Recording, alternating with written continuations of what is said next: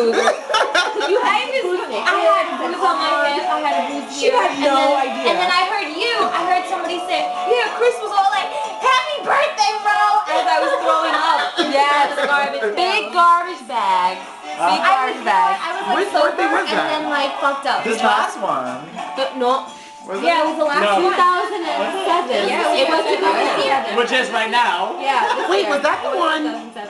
Was I there? Was, it was. You left. You left. That's the one where you called me the next day and said if my mom calls, I'm at I your went. place. I'm at your place. I know, like I'm back in high school. Like your mom would call you. Like my mom Like would your call would call you. me. Right.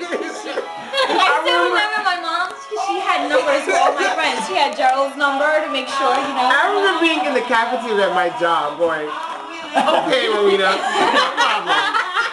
If your mom calls, you're at my place.